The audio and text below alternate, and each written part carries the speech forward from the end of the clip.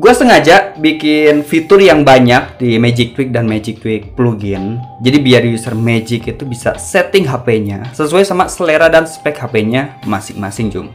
Tapi sebagian user itu malah bingung. Gimana cara setting Magic Tweak dan Magic Tweak plugin biar dapat FPS yang stabil? Nah, sebenarnya nggak ada settingan yang spesifik, Jum, untuk aplikasi Magic Tweak dan Shell Script Magic Tweak plugin lu bisa rubah dan setting sesuai sama selera lu sendiri atau kebutuhan HP lu sendiri. Nah, misalkan nih, kebutuhan fitur buat HP lu mungkin berbeda sama kebutuhan HP gua sendiri. Ya contoh simpelnya, di saat pemilihan tipe grafik, ya mungkin lu demen yang grafiknya tajam, jadi biar kelihatan sampai ke dalam-dalam, ya kan? Tapi kalau misalkan gua sendiri itu lebih demen yang sedikit ngeblur, Jum. Jadi biar sedikit lebih penasaran. Tapi kalau lu deh pengen dapat kinerja yang maksimal, lu bisa ikutin settingan di video ini, Jum. Sekarang kita setup Shell Script Magic Tweak pluginnya. Nah, pastiin lu pakai Magic Tweak plugin yang versi terbaru ya, yaitu versi 16, Jum. Nah, untuk di bagian fitur Angel Driver, gua selalu pakai mode angel. Ya, kadang-kadang juga pakai mode natif, tapi seringnya sih pakai mode angel. Nah, meski fitur mode angel ini cuma mendukung buat Android 13, 14 atau mungkin di atasnya, tapi kalau lu udah install plugin Angelnya yang udah gua share di video yang lain, mode angel ini bisa aktif, Jom. Terus untuk di bagian fitur game driver, gua selalu pakai mode average. Nah, alasan gua pakai mode average, soalnya gua lebih ngutamain FPS dibanding grafik. Tapi bang, gua pakai yang versi gratis, gimana dong? Nah untuk yang versi gratis kalian bisa pakai mode silky. Perbedaan kinerjanya cuma 25% doang, Jom. Next, untuk fitur Graphic X atau config game dashboard, di sini gua selalu pakai render angel dan tipe grafiknya itu pakai medium. Nah, di fitur Graphic X ini kita harus belajar sadar diri ya, Jom ya. HP kita itu kentang, apalagi non-root ya. Nah, jadi jangan berlagak pakai grafik high Nah kita set ke grafik medium atau low aja jadi biar CPU kita itu nggak gagap yuk.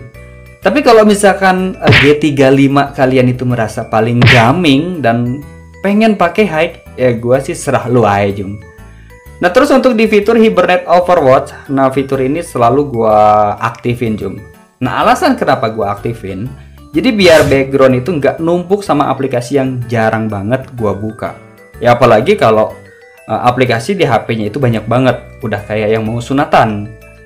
Nah terus next lagi di fitur Power Management, nah fitur ini nggak pernah gua lewatin. Nah sebelum gua ngaktifin fitur yang lain, gua selalu utamain dulu fitur ini dan mastiin fitur ini aktif Jun.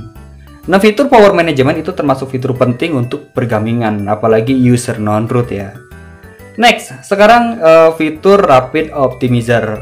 Nah di bagian fitur RO uh, gua selalu pakai mode ultimate speed. Soalnya mode ultimate speed ini bakalan naikin tingkat responsif aplikasi atau game. Tapi bang gua pakai yang gratis. Gimana dong? Nah kalau misalkan lu pakai yang versi gratis lu bisa pilih mode quick optimize.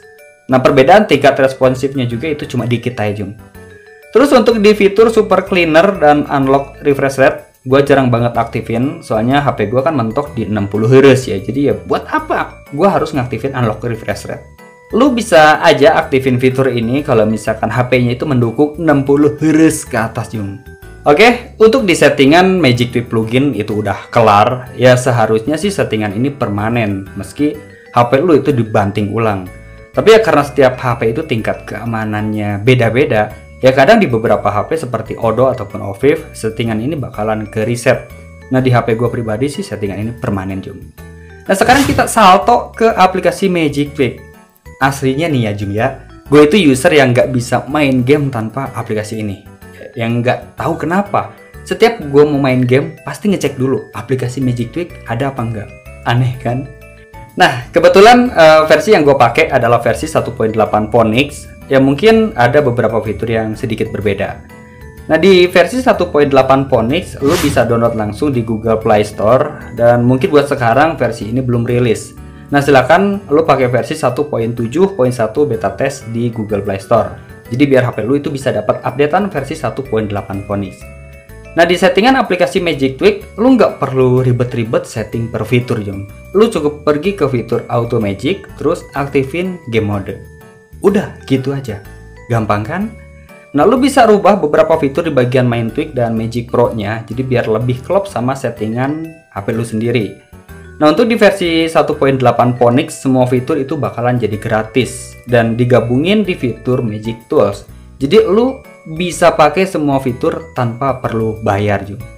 Nah udah gitu aja settingan yang uh, gue aktifin di Magic Tweak dan settingan ini gue pakai permanen mau itu daily ataupun gaming gue nggak pernah eh, rubah-rubah mode. Emang aman mang? Ya kalau misalkan nggak aman kenapa gue masih hidup sampai sekarang cung?